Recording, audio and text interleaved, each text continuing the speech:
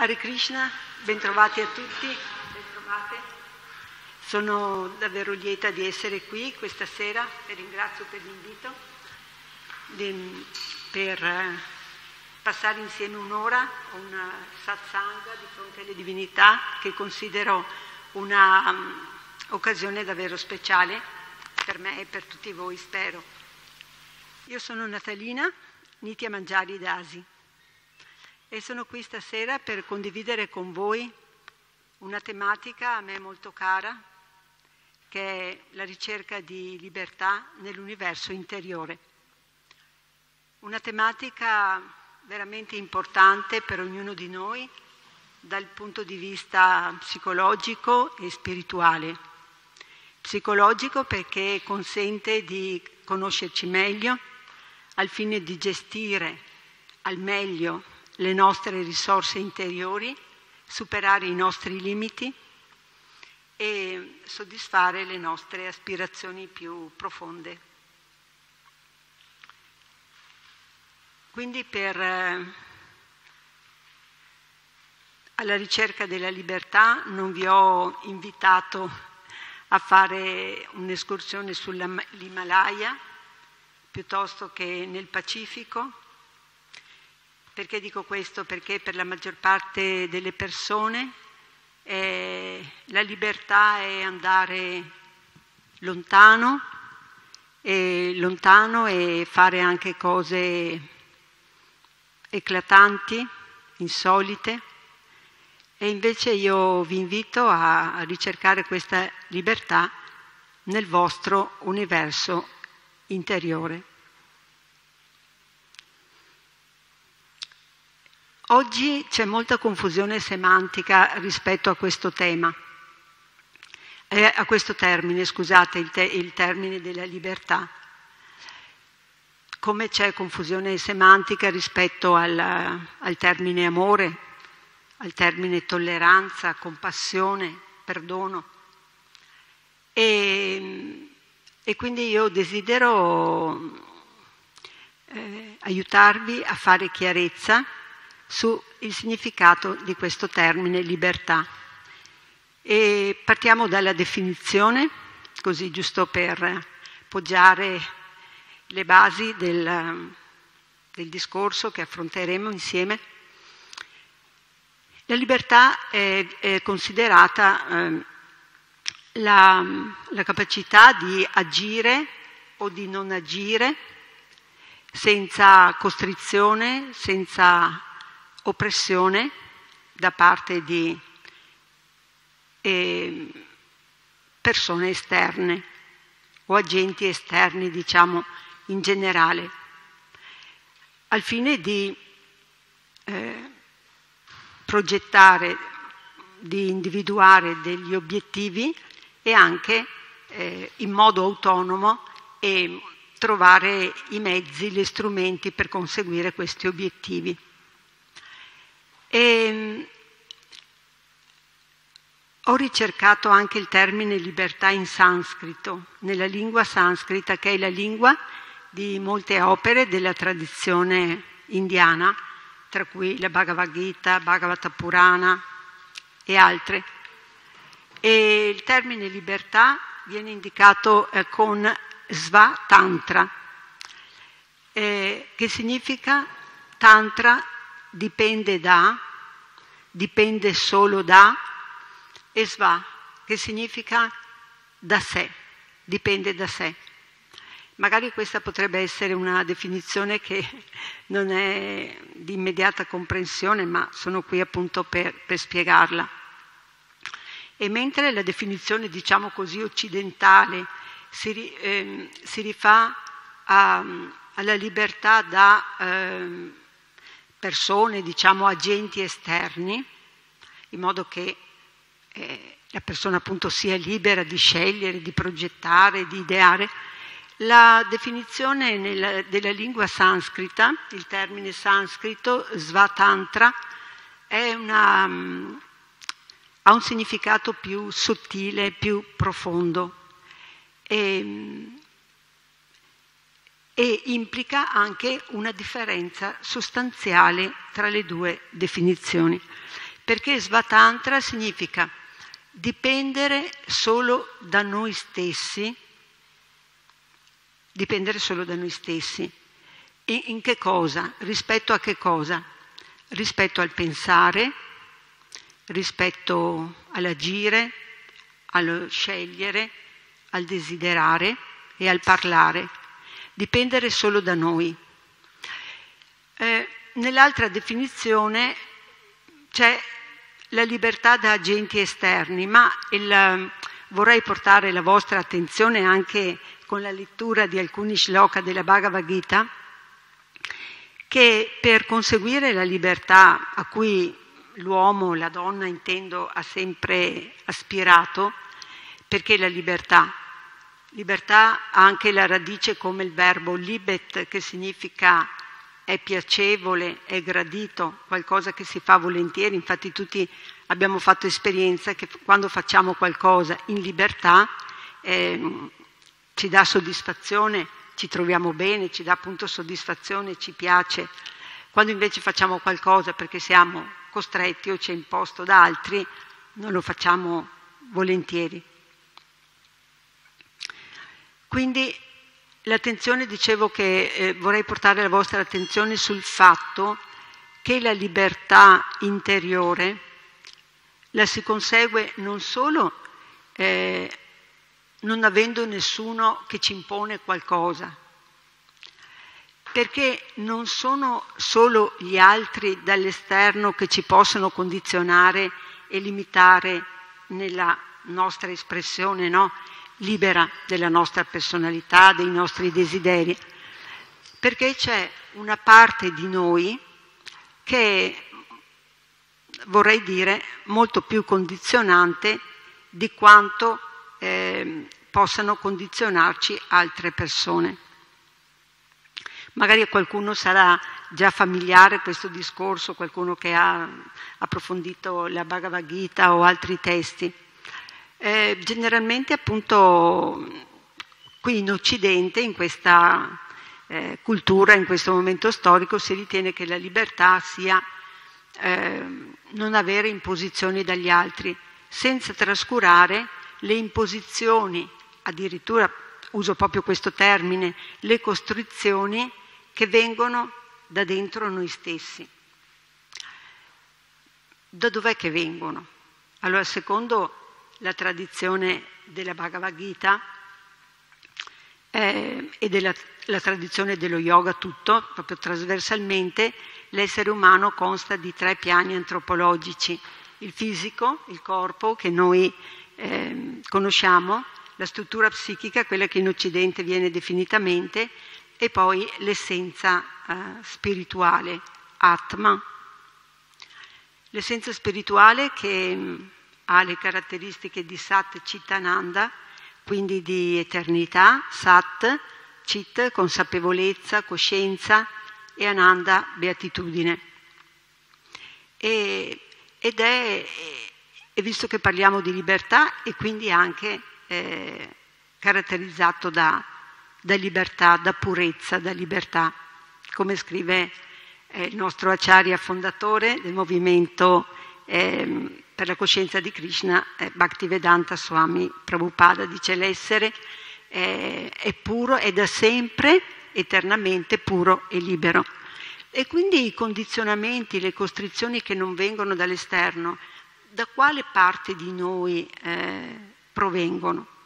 Vi è mai capitato di essere in una situazione e seppur qualcuno dall'esterno non vi imponeva niente, ma voi avete sentito qualcosa che non eh, vi faceva agire liberamente, secondo ehm, il vostro desiderio. Eh, scusa Guru Charana, chiedo, se io mi giro così va bene per il microfono? Posso girarmi o la voce si, si sente bene? No, perché ho detto che registravano, quindi ho chiesto da dove può venire questo condizionamento, questo eh, e quando ci sono dei condizionamenti in atto non siamo liberi. Ad esempio voi pensate di poter scegliere liberamente quando eh, provate un senso di colpa. scegliete liberamente, siete liberi di scegliere, oppure quando siete in preda alla collera, alla paura, all'ansia, pensate di poter, cioè pensate di essere liberi e quindi di poter scegliere liberamente? Secondo voi? No, perché una persona che è in preda alla collera non potrà scegliere le parole da dire un'altra persona, ad esempio, quindi non è libero di dire quello che effettivamente vorrebbe, no? Eh, più profondamente. Infatti quante volte ci capita di eh, parlare, se non in preda alla collera, ma può essere anche al risentimento, alla paura, dire cose di cui poi noi ci pentiamo. E quindi vuol dire che abbiamo parlato, ma non eravamo liberi. Ma infatti Oggi in questo mm, momento storico così frenetico dove andiamo tutti di corsa e mille cose da fare, non c'è un momento per fermarci, eh, molto spesso entra in gioco la mente reattiva, quindi di fronte a uno stimolo la eh, persona eh, risponde in modo coatto, in modo automatico, senza poter effettivamente scegliere senza essere libero, libero o libera di scegliere quello che vorrebbe dire o quello che vorrebbe fare o quello che vorrebbe pensare o desiderare. E quindi per quello vi ho invitati a fare un viaggio alla ricerca della libertà nell'universo interiore, perché è nel nostro universo interiore che possiamo trovare la libertà. E se noi ci fermiamo alla mente, a, ai contenuti della mente, quindi eh, emozioni, come ho detto, paura, eh, rabbia, collera, ansietà, invidia, eh, noi, se noi ci identifichiamo con queste eh, emozioni, ma anche con certi desideri, con certi pensieri, eh, sicuramente eh, ci priviamo della libertà che invece ci appartiene da sempre e per sempre. Infatti Krishna nella Bhagavad Gita, nel terzo capitolo, ventisettesimo shloka, dice l'anima spirituale sviata dall'influenza del falso ego crede di essere l'autrice delle azioni che in realtà sono compiute dai guna. Guardate che è un'affermazione molto forte. E noi eh, crediamo di essere liberi, di poter scegliere, di poter, eh, di poter scegliere, di poter decidere quando sono i guna ad agire. Eh, la, l'argomento dei guna è trasversale a tutta la Bhagavad Gita perché inizia già nel secondo capitolo e poi fino al diciottesimo in particolare nel quattordicesimo e diciassettesimo, approfondisce il tema dei guna. E, e comunque vi ho citato questo perché a me fa, ha fatto tanto riflettere, no? che in realtà le azioni sono compiute dai guna, ma eh, dicevo, ma allora l'anima spirituale non agisce? Com'è la questione? Non, non riuscivo a raccapezzarmi, ma riflettendo, studiando, eh, confrontandomi con altre persone, come stiamo facendo anche adesso, sono arrivata a comprendere che quando l'anima, l'anima di per sé è sempre pura, è sempre libera, come dicevo, mai condizionata, ma quando c'è l'identificazione con la Prakriti e attraverso la struttura Ham, Kara, che è il falso ego, ecco che allora eh, l'anima crede di essere autrice di quelle azioni, ma di quelle azioni condizionate. E, perché certo che l'anima può agire, l'anima è la vita, è l'essenza spirituale, è la vita, ma per arrivare proprio a far sì che l'anima scelga, noi dobbiamo liberarci da, da sovrastrutture che si sono ehm, formate nel corso del tempo e si sono depositate nella parte più profonda della psiche, nel karma ashaya. E quindi pensate che le persone credono di essere libere e sono i guna ad agire. Che cosa sono i guna? Un piccolo approfondimento, poi ehm, al banco degli strumenti didattici potete trovare tanti, tanti libri eh, di Srila Prabhupada e quindi potrete approfondire queste, queste tematiche a cui io accenno nella Bhagavad Gita stessa. Ecco qui la Bhagavad Gita, penso che la maggior parte di voi la conosca.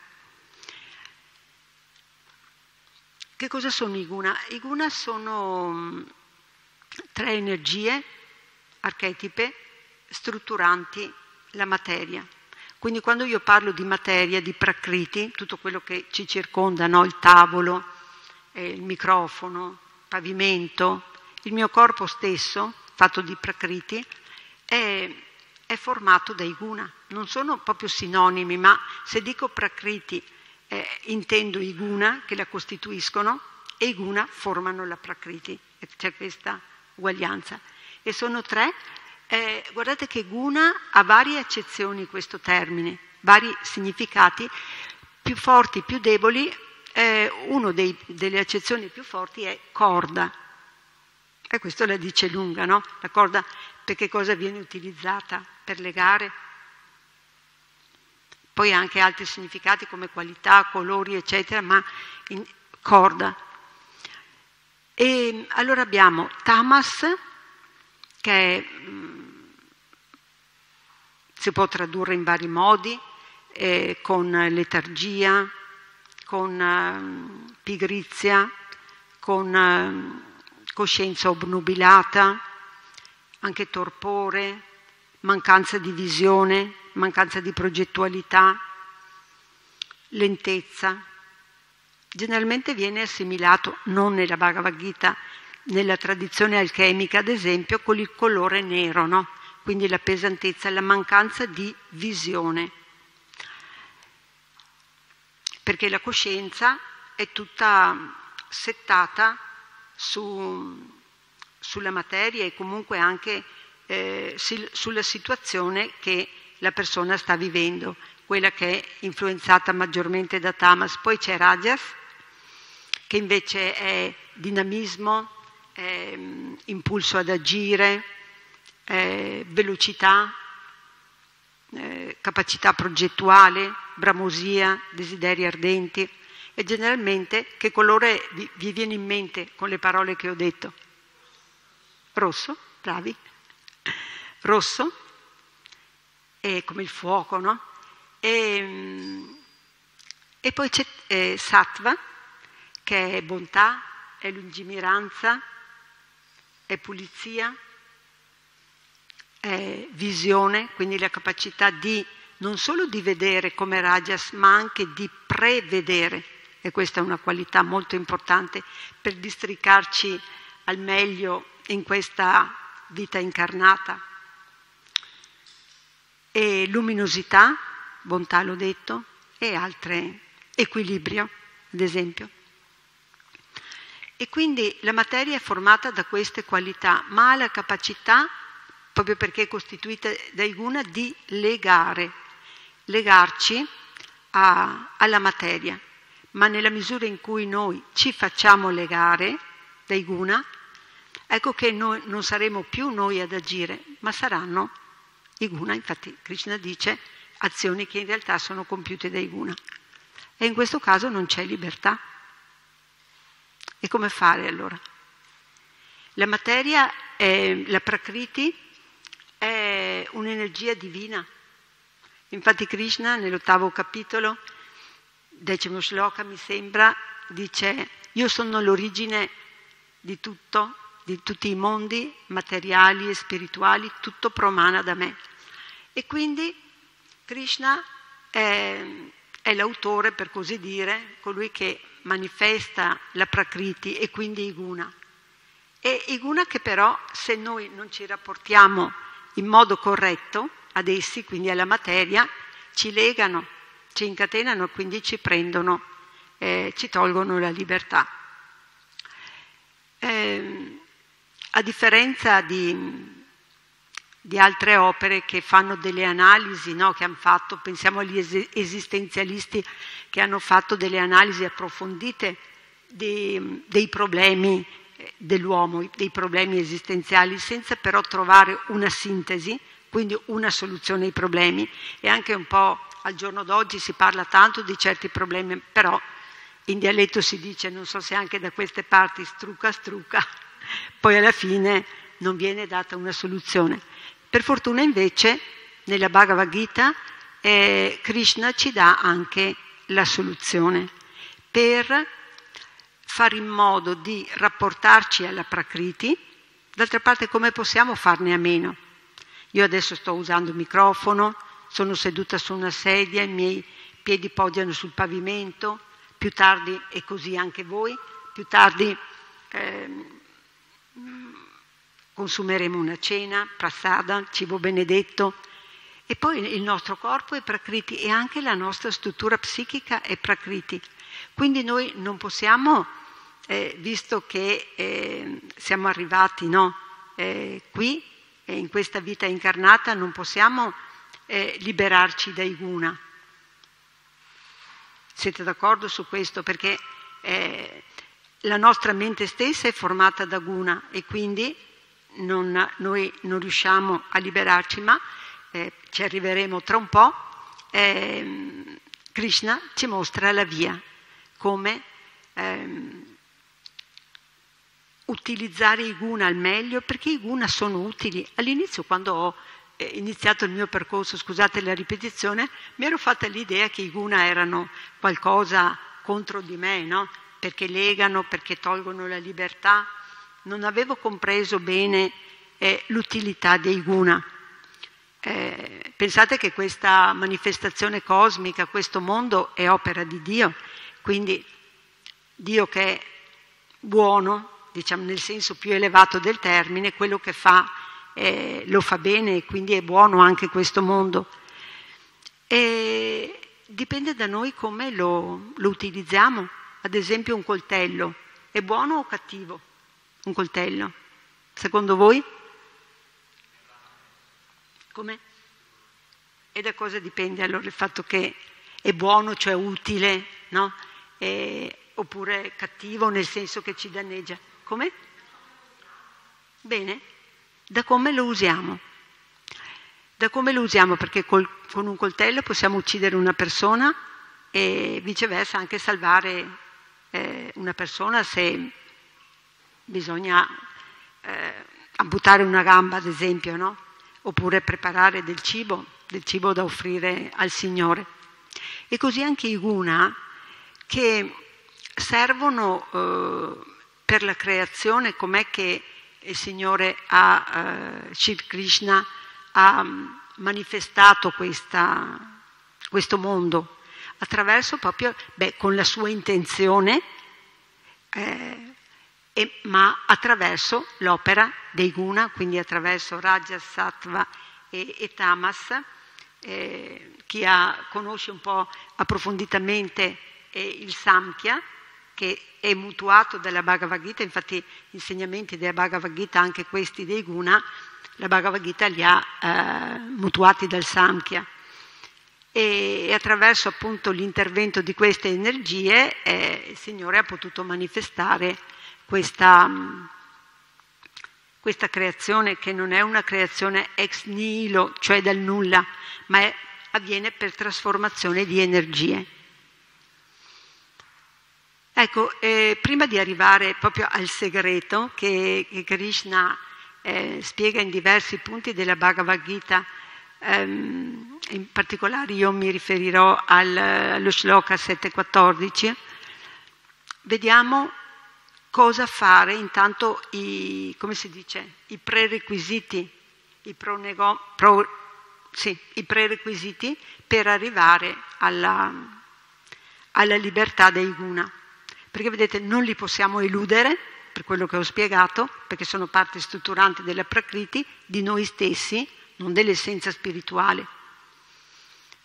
E, ma quindi non li possiamo ignorare, non li possiamo illudere, eh, eludere, ma li possiamo trascendere.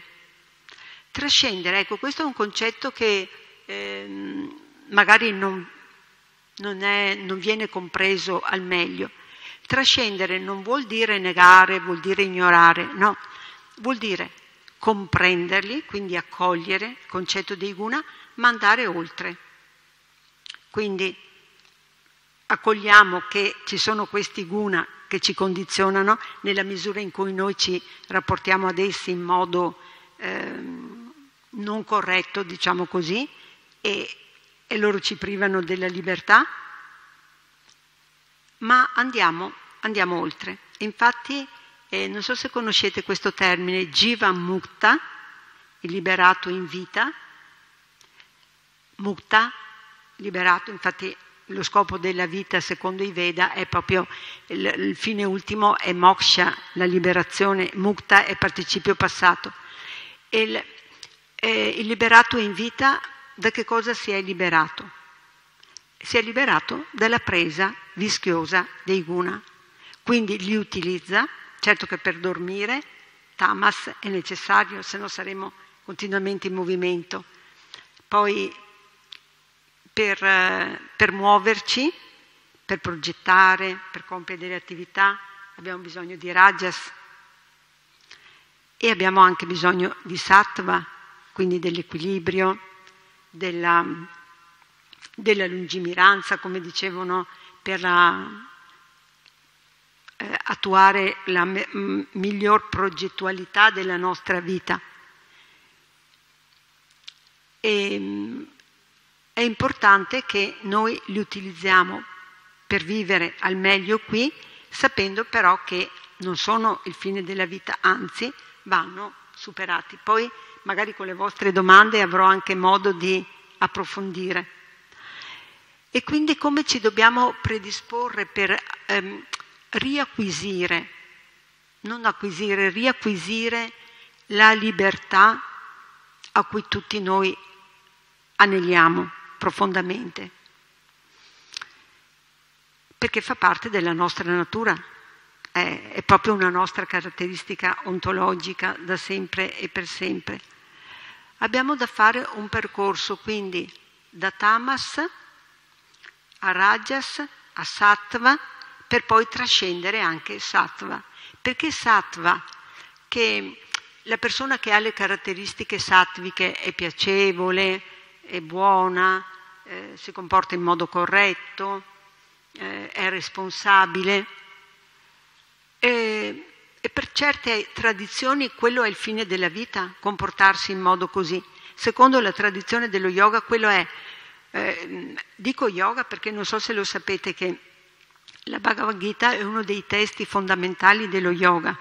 Infatti è il testo che contiene più volte la parola yoga, circa 200 volte intendendo qui per yoga quella via, quel metodo che serve eh, per eh, ricollegarci all'essere supremo, a Shri Krishna, nella relazione d'amore che ci lega da sempre e per sempre, ma che per vari motivi, per nostre scelte, noi abbiamo disatteso.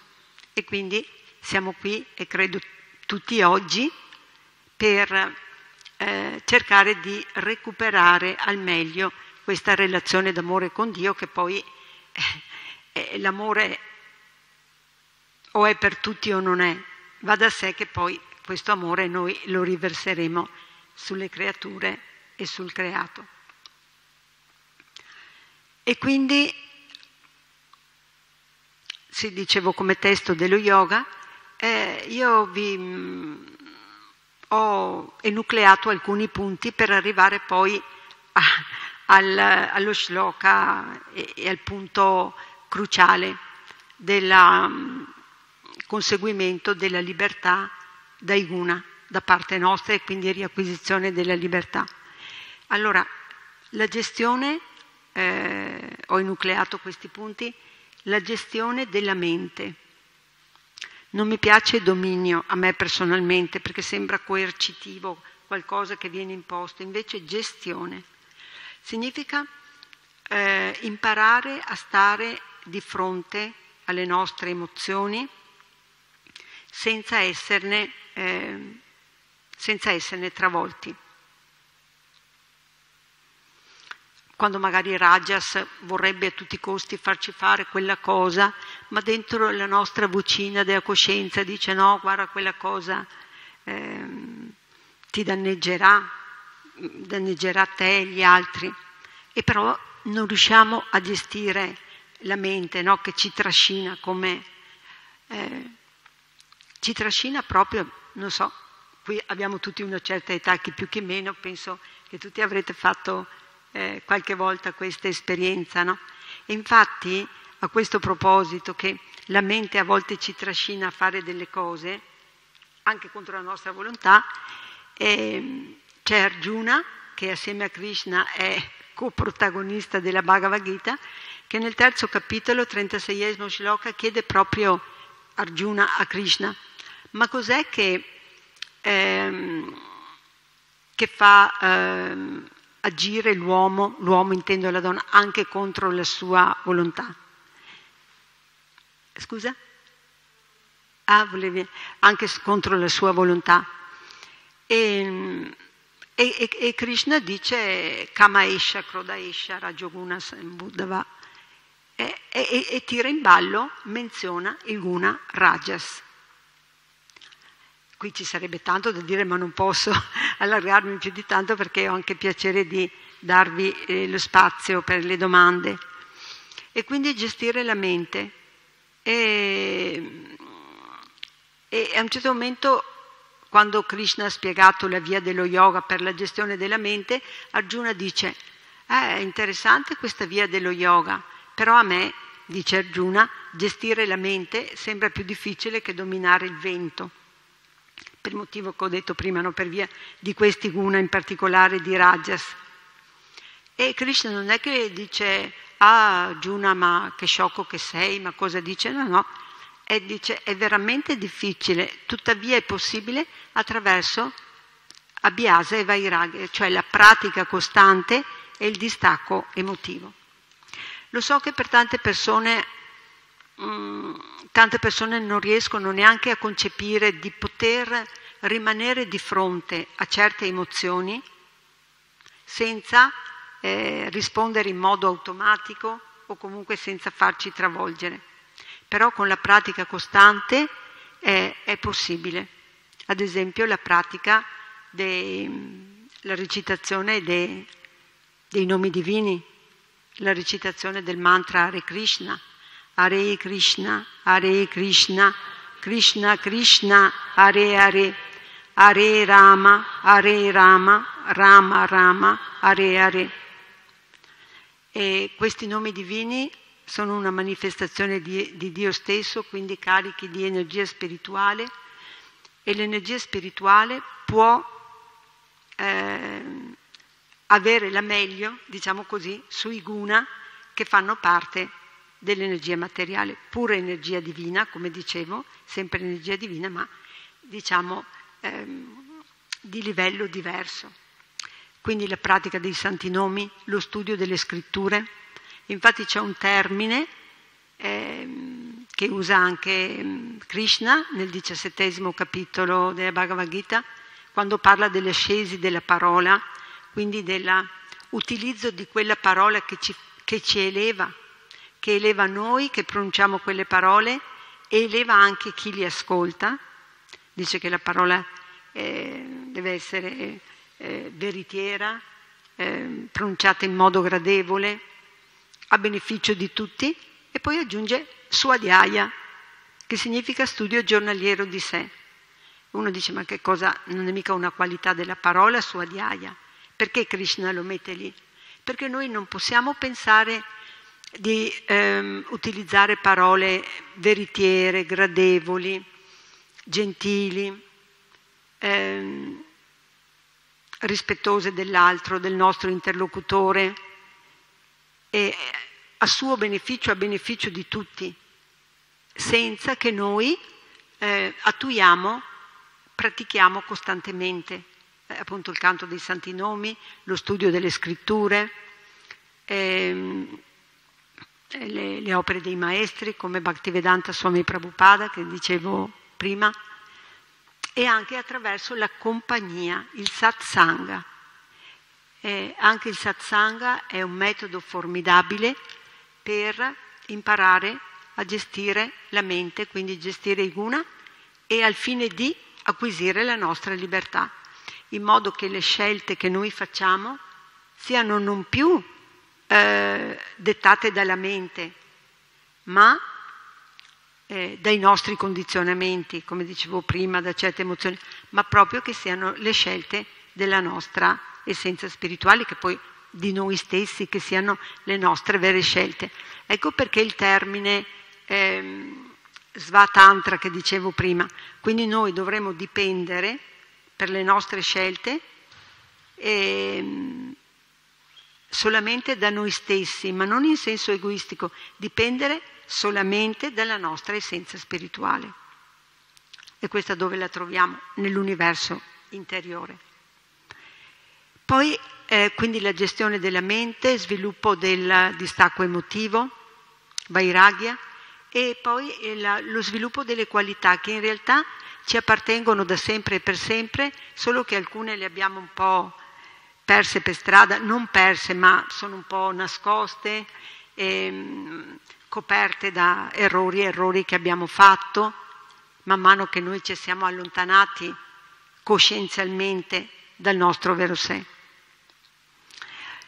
E qualità, e pensavo proprio per parlarvi delle qualità, le qualità che mh, mm, Bhaktivedanta Swami Prabhupada ha, ci ha mostrato, perché vedete è importante sapere quali sono le qualità da sviluppare per il nostro percorso eh, alla fine di realizzarci spiritualmente, ma quello che è importante è anche avere un modello, un modello che incarni queste qualità, perché allora per noi è più facile eh, praticarle, altrimenti potrebbero anche risultare astratte e quindi pensando a Bhaktivedanta Swami Prabhupada ho pensato all'umiltà, ho pensato alla determinazione, conoscete un po' tutti, penso che conoscano un po' la vita di Prabhupada o anzi sono delle persone nuove. Ehm,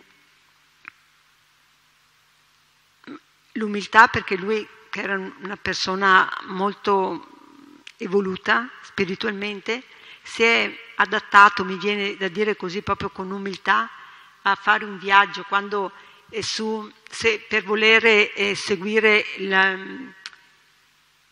l'insegnamento, l'indicazione data dal suo maestro Bhakti Siddhanta Sarasvati, che era quella no, di,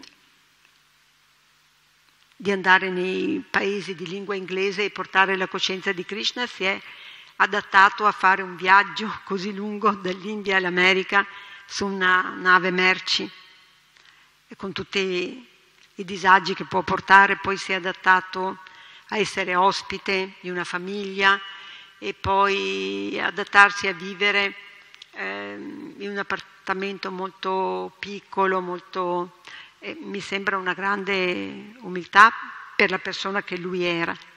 Poi la determinazione, nonostante le difficoltà, quando è partito da, dall'India, lui aveva già avuto problemi di, di cuore, un attacco di cuore, uno ce l'ha avuto anche durante il viaggio e, e mi ha colpito molto leggendo la sua biografia, penso che ce l'avete anche qui, vero Guruchara? Sì? La Prabhupada Lilamrita, diciamo la biografia per dire parole semplici, mi ha colpito questo aspetto e, per, e, e, con questo desidero mettere in risalto la sua determinazione a portare anche in Occidente la coscienza di Krishna. E, che per lui era l'essenza della sua vita, che una volta arrivato in America e mm, trovava queste difficoltà, adesso non posso raccontarvi tutto, e, ogni tanto andava al porto per vedere quale eh, sarebbe stata la prossima nave no? in partenza per l'India. Andava.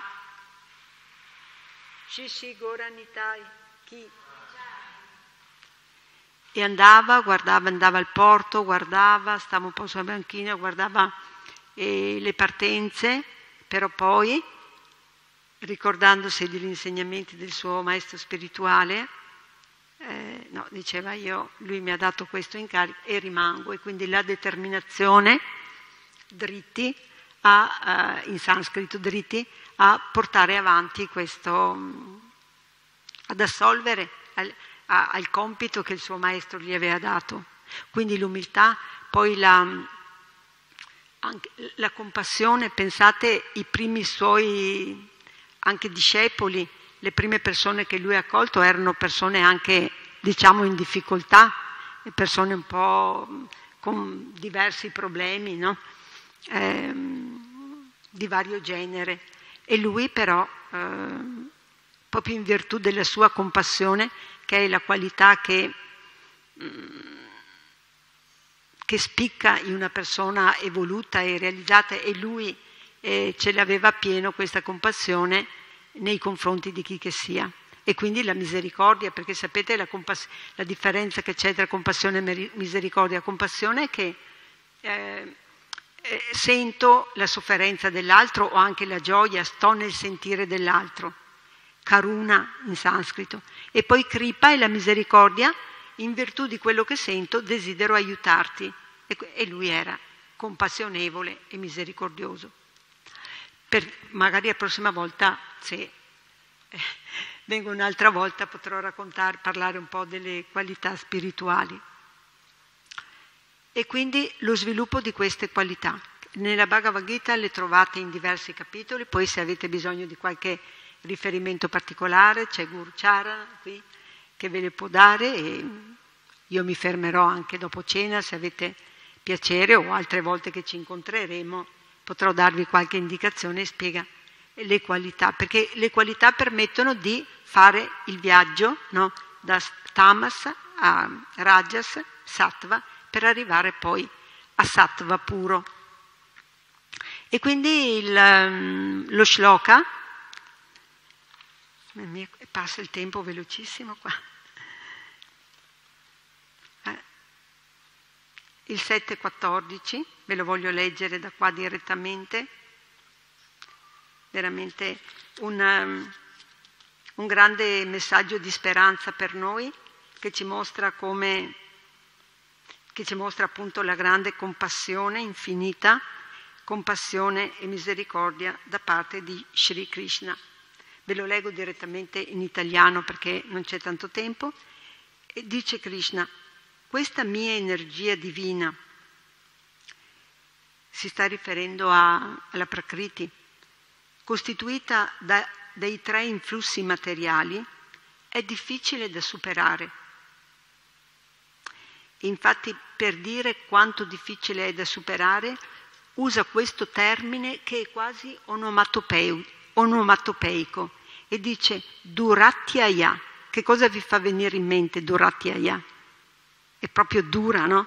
Dura, difficile da superare. Perché è un'energia divina, è potente, ma coloro che si abbandonano a me ne varcano facilmente i limiti. E quindi ecco che ci ha dato la chiave di volta per eh, uscire dal condizionamento dei guna dal condizionamento della Prakriti e, e poter acquisire appunto la liberazione e non solo, ma sviluppare anche il puro amore per Dio. E, ehm, che cosa significa abbandono? Perché anche abbandono magari non è proprio chiaro per tutti, magari per voi sì, che siete qui. Non è come mi abbandono, beh, mi butto dalla finestra, no? Oppure sì, Signore, io mi abbandono a te, mi abbandono. È, è un processo, è un processo, non è un, un punto di partenza, ma ehm, è un punto di arrivo che implica dedizione, vorrei dire conoscenza prima, perché attraverso la conoscenza, lo studio delle scritture, eh, noi impariamo a, a conoscere Dio, a conoscere le sue qualità. Perché come si fa a amare una persona che non si conosce? È importante eh, la conoscenza, la conoscenza spirituale perché ci fa conoscere Dio, le sue qualità e fare in modo che pian piano noi possiamo innamorarci di Lui. E poi, per, e poi la dedizione, quindi dedicarci a Dio. Dedicarci, quindi dedicargli le nostre opere in spirito di offerta, esprimergli la nostra devozione, ovvero concentrare tutte le nostre migliori energie psicofisiche per ehm, connetterci a Lui, dedicargli ogni opera, pensieri, emozioni e attraverso la conoscenza, la dedizione, la devozione, ecco che possiamo sviluppare eh, l'amore per Lui, Lui ce lo promette in vari versi della Bhagavad Gita. E così possiamo vivere eh, felici, liberi, visto che è il tema della serata, ma felicità e libertà vanno di pari passo, non sono cose diverse, perché uno che è libero interiormente eh, è felice e se è felice vuol dire che è libero interiormente, altrimenti non può essere, perché se c'è legame con la materia, c'è dipendenza, questa crea molta sofferenza e non felicità. Ehm, mi fermo qui, ci sarebbero tante cose da dire, ma spero che ci saranno altre occasioni. A voi.